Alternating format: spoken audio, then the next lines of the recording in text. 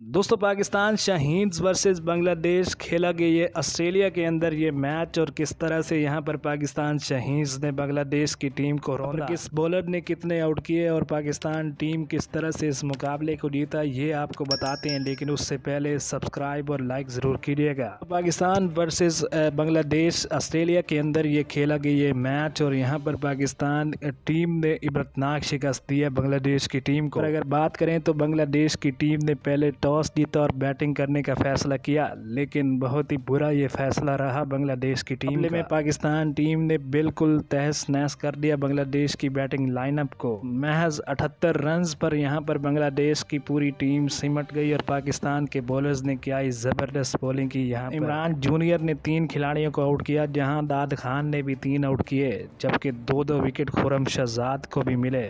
علاوہ اسپنر مبصر خان نے بھی دو آؤٹ کیا اور یہ کمپلیٹ پاکستان کی ایک بولنگ پرفارمنس تھی۔ تقریباً سبھی پاکستان کے بولرز کو یہاں پر وکٹس ملے۔ تین کھلاڑیوں کو یہاں پر سب سے زیادہ آؤٹ کیا۔ جہاں داد خان نے۔ اور جب چیز کرنے کے لیے آئی پاکستان ٹیم، صرف اٹھتر رنز کا یہ ٹوٹل تو پاکستان ٹیم کے صرف دو کھلاڑی آؤٹ ہو گئے تھے۔ لیکن اس کے بعد دوسری وکٹ پر عبد الفصیح خان اور عثمان خان کے درمیان ایک اڑتالیس رنز کی پارٹنرشپ عثمان خان نے یہاں پر پر انتالیس رنز بنائے۔ اس اننگ میں ان کے پانچ چھکے شامل تھے، ایک چوکا بھی انہوں نے لگایا۔ جبکہ یہاں پر طیب طاہر نے سترہ رنز کی یہ باری کھیلی اور پاکستان ٹیم اس مقابلے کو آٹھ وکٹ سے جیتا اور بری طرح ہرایا یہاں پر بنگلہ دیش کی ٹیم کو۔